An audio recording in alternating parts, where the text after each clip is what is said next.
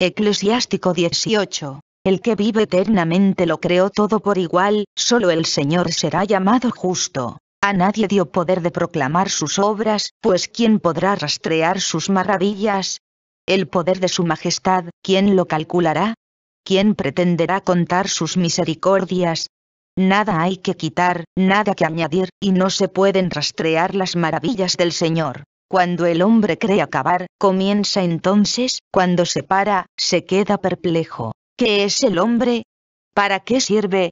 ¿Cuál es su bien y cuál su mal? El número de los días del hombre mucho será si llega a los cien años. Como gota de agua del mar, como grano de arena, tampoco son sus años frente a la eternidad. Por eso el Señor es paciente con ellos, y derrama sobre ellos su misericordia. Él ve y sabe que su fin es miserable, por eso multiplica su perdón. La misericordia del hombre solo alcanza a su prójimo, la misericordia del Señor abarca a todo el mundo.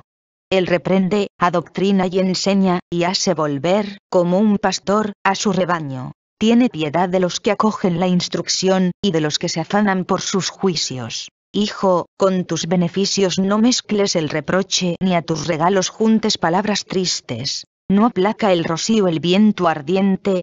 Así vale más la palabra que el regalo. ¿No ves que la palabra es más que un buen presente?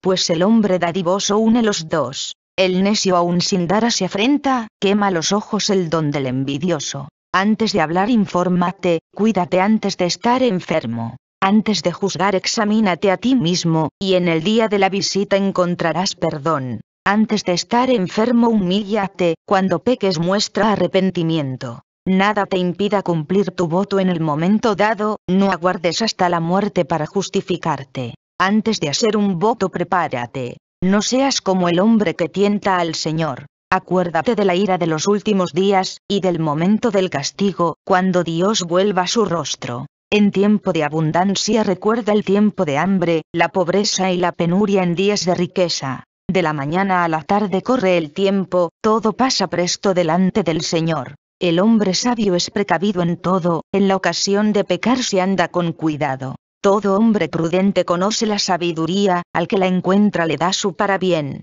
Los prudentes en palabras hacen sabiduría y prodigan los proverbios acertados. No vayas detrás de tus pasiones, tus deseos refrena. Si te consientes en todos los deseos, te harás la irrisión de tus enemigos. No te complazcas en la buena vida, no te avengas a asociarte con ella. No te empobrezcas festejando con dinero prestado, cuando nada tienes en tu bolsa.